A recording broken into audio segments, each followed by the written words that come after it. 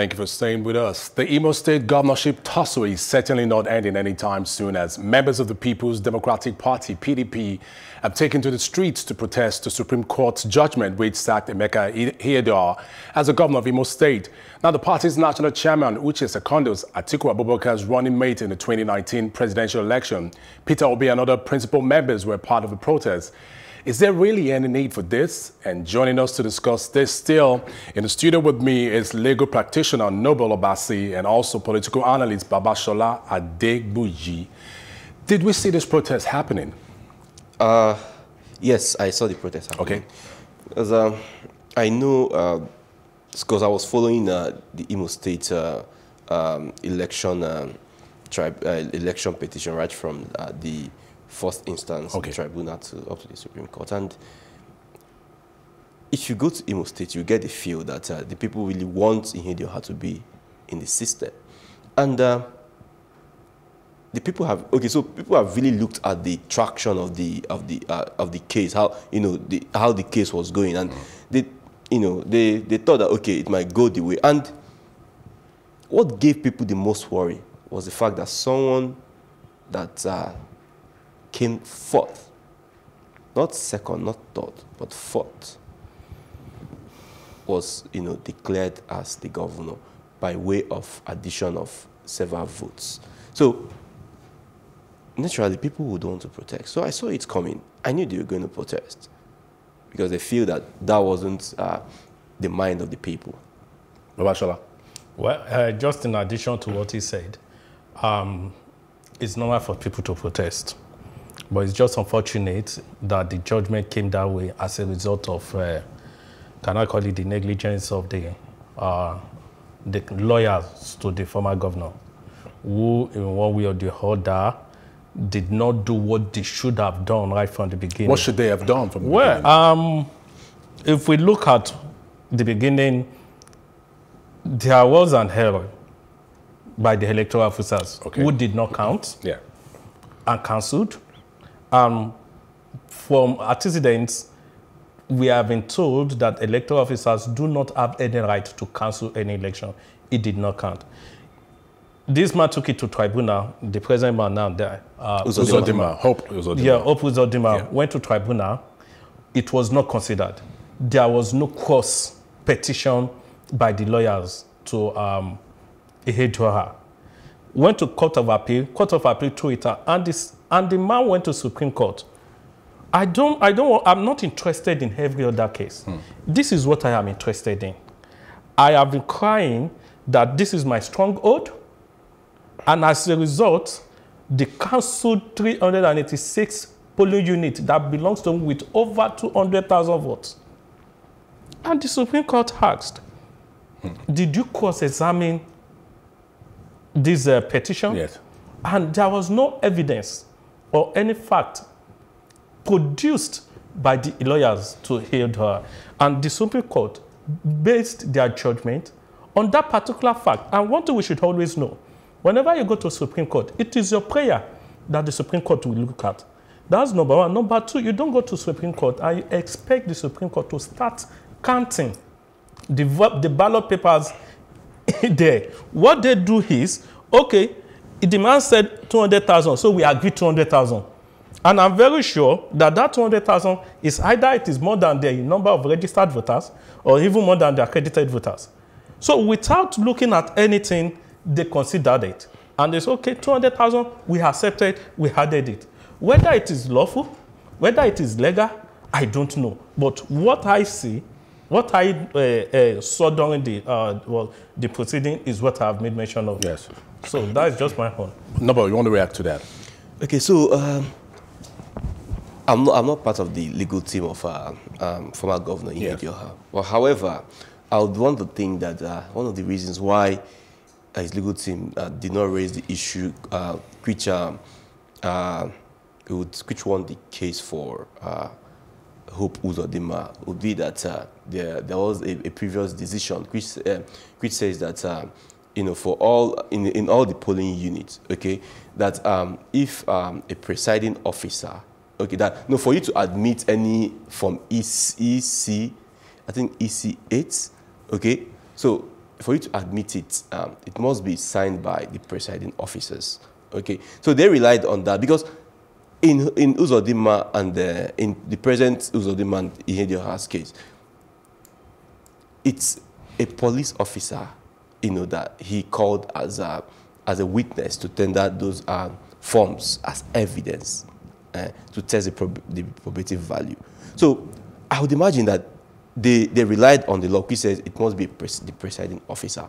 But then they neglected the fact. So they thought a police officer coming forward wouldn't, you know, add anything to, to the substance of the case. But then it hurt them badly. It hurt them badly. But, but the, the, the, let, me, let, me, let me take your, what your reaction was. Doesn't it come as a rude shocker, um, the voiding of Emeka Ihedioha's um, governorship um, candidacy as governor of Imo State? Did, did, it come to you as a rude shocker at the yes. pronouncement by the Supreme Court? Yes, it came to me as a rude shocker because uh, I, was, I, was, I was thinking that um, even if they would uh, want to um, add those, uh, those votes, those uh, cancelled votes, say those votes from 388. Yes they should go a step further to count those votes to make sure it tallies with the total number of uh, uh, uh, registered, registered and accredited, accredited voters. voters. Yeah. Exactly. So if you if they if they if they had gone a, a step further to do those things, they would know that uh, thorough justice has been done to the election. So everybody will now sit down and be happy and have some coffee. But then, Supreme Court just ruled on that. that 388 polling, that the votes from the 380, I think it's 386 polling units should be counted and added it onto the existing vote. And in some quarters, it was seen that those votes added, uh, you know, surpassed the number of registered voters. Yes. So it's an anomaly. Well, exactly, because you're a lawyer. So, I mean, if the evidence, if the evidence provided is, is sufficient and adequate, then what was the Supreme Court, was the ruling, was, would you think it was an unfair ruling? Okay, so don't forget what I said earlier on. I said the Supreme Court didn't go a step further to uh, perhaps, uh, you know, count the votes to, you know, find out whether it's commensurate with uh, uh what we had on ground. Yes. But then, but then, haven't seen that, um, well, since they didn't add it, and then, you know, from, you know, the public, uh, they've done their mathematics and they realize that this, this, this was what happened. So because it's the final arbiter of justice in Nigeria, they cannot overrule themselves again. But then, there could still be judicial review of their decision. And what would that lead to? A judicial review? Yeah, so if for, for you to um, for you to go through that route, you need to um, make sure that you give sufficient evidence to establish that uh, uh, there is serious injustice being done and there is a material error in their decisions. So for example, if the opposition comes out to say, in the 386 polling units, you say we have 200,000 votes, and the total number of voters in, in Imo State is uh, perhaps uh, 300, and we had existing uh, 150. If you add 200 plus 150, gives you 350. That means that it has surpassed the total number of um, registered voters. I think Supreme Court wants to hear that side of the argument. Bashola, any thoughts on this? Well, I'm not a lawyer, yeah. but um, what I know this, what I know that, that uh, the Supreme Court did was just to agree with Uzodimma that 200,000, okay, no question. Since these guys has refused to do what they had to do, and uh, we agree with you that it's 200,000. Go ahead. So is that, is that an oversight on the side of the Supreme Court? What should have been the due diligence by the Supreme Court? Well, and no. are, they, are they expected to have done that? Yes. Okay. So an oversight? Yes. It could be an oversight, and it could be political. Which of it do you think is more of, Obashola? Well, uh, I can't say. I can't say because okay. who am I to question the Supreme Court? Yes. okay, now the, the, the, the, protests all over the place, and this protest might take place in other states in Nigeria. Um, over the weekend, there were protests and demonstrations in Imo State. Yes. And um, the national chairman of the PDP, Uche Secondus, took yes. to the streets with some um, political figures to yes. protest the Supreme Court ruling. Um, is this like for them to reverse their, their, their judgment? Is this like looking for a needle in a haystack as it is right now? I don't think so. Okay. So I think um, they want to create an awareness that uh, Supreme Courts they can't come and uh, you know do injustice and go scot free. That, in as much as um, everyone knows it's injustice, but this one you won't want to go scot free, even though we really okay. So we don't know whether the Supreme Court would um, overrule itself. We don't know whether it would. Uh, Has there been any case in, in history where the Supreme Court overruled Ah. its judgment? I think so. It's an old case. Okay.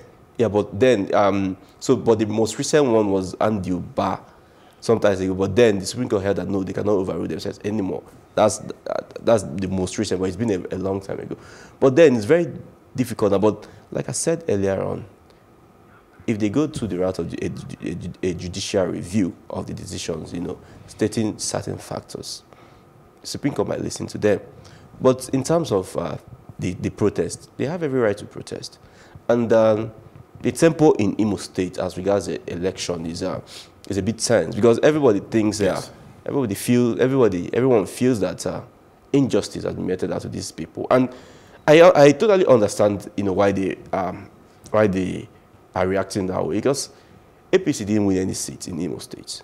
And people are wondering, I mean, to, to every reasonable individual, you think to yourself, how would a governor whose party never won a seat, in, how would somebody whose party never won a seat have, you know, be the governor based on the total number of votes? It once happened in Anambra, Abga. We should not forget in 19, in 2004 when this man came to became the governor. Yes. Yes, it was happened. Okay, I, I get it, but in contemporary Nigeria now, where people, where people are, okay, just take a look at Imo State, for example. Excuse me, Imo State is a, is a, a southeastern state, and you know, Nigeria is a, is a bit divided in terms of political inclination. So you see the south, south, you know, align a bit to the PDP, which they Yes. feel is a party that could give them what they really want. Yes. So in in southeast, it's it's it's where uh, APC might win certain electoral positions, right. but it's Now, okay, we're, we're, we're getting pressed for time. Let, us Okay. quickly analyze and look at critically the, the security situation and days to come in Imo State as a whole. If, if the protests and demonstrations should continue, okay. um, what, what is the security go, going to be like, the governance of the state? And do you think this might make it very hard for Emeka Ihedioha to settle in as, mean- as the governor right now? I mean that you mean I hope uh, Uzodinma. hope, hope to my beg your pardon, yes. Yes, uh, I wouldn't think um, it's it's the protest would go violent like that because at some point, Emeka, don't forget Emeka, um, um, uh, Hope Uzodinma is also uh, an indigenous of Imo State. Yes. So, I mean, at some point, the people, uh, if the if uh, the Supreme Court, you know, doesn't do anything, the people will come will come back and you know relax and and uh, and accept their fates because Hope Uzodinma is not a, is not a stranger. It's still one of it's still one of it's still an Imo State indigene. Okay. So at some point, yeah. Rashala, any thoughts on this? I want us to wrap up this Well, um, if, if, if, if, if the protest continued, it might lead to anarchy. And I think um, something has to be done. So I'm not saying to stop it, to control it.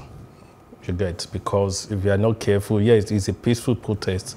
Uh, we have some thugs that might want to make use of that uh, as an And there are always cases of, you know, every protest being hijacked. You Yeah. know, Yeah, so there's every yes. possibility Yes. that could happen.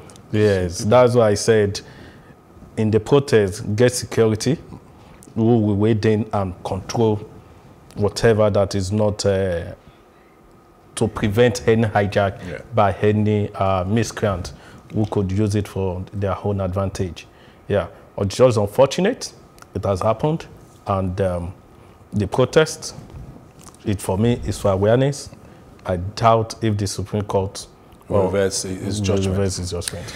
Babasola Digbuyi and Nobel Basi, thank you for being part of Plus Politics this evening, and thank you for your in-depth contribution. Thanks for staying with us. We'll take our Plus report now, and when we return, I will give you my take. Stay with us.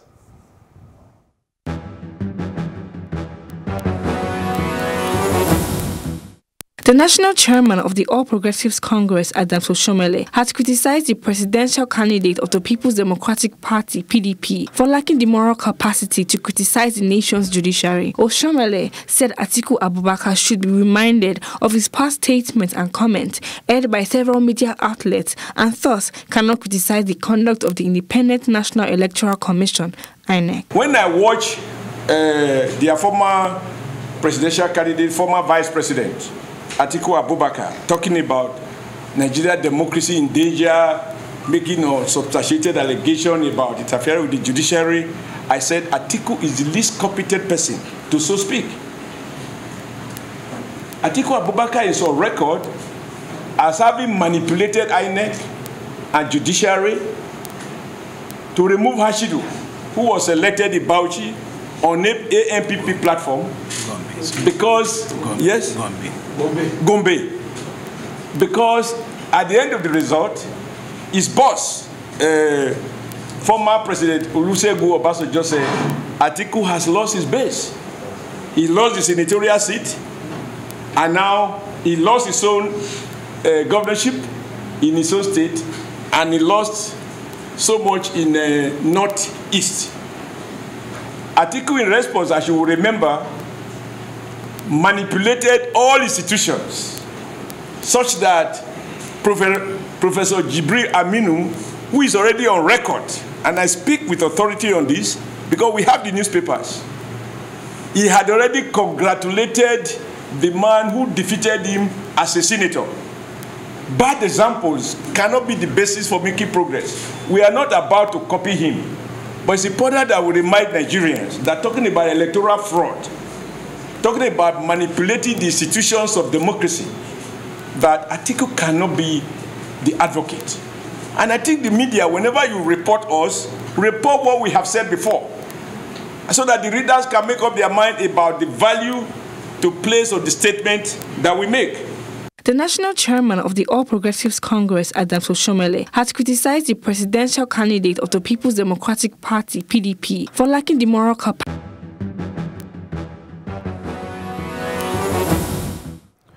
And here is my take. Is the Yoruba Council of Elders, the YCE, right in asking Tinubu to take a position on Amotekun? Well, whether they're right or wrong, I think he cannot continue to be quiet at this point in time.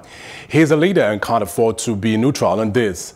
Also, could the allegation by YCE that Tinubu is yet to speak because of his alliance with the North and the promise of the presidency come 2023 be the reason why he refuses to state his position that will put him in bad books of Aso Rock?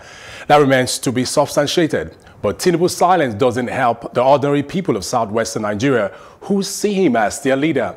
I believe he has to take a position on Amotekun because it will benefit the entire southwest, of which he is an influential leader. Tinubu's silence is perceived to embolden those who are against Amotekun and give them the audacity to speak against it and do whatever it takes to make sure Amotekun doesn't come into being. And as for the members of the PDP and their supporters expressing their displeasures by protesting against the Supreme Court's judgment, I think it is a step in the right direction because finally they have decided to wake up and do their duty as opposition party. But then, Uche Secondus asking the Supreme Court to reverse its judgment seems like a misplaced call. The task ahead of the PDP is to wake up and be an opposition party indeed, hold the president accountable and make sure that they don't protest only when their party interest is threatened. I hope this shakes them into doing their job as an opposition party in order to protect Nigeria's fledgling democracy. Thank you for staying with us today. Plus Politics continues tomorrow, same time. Have a good evening.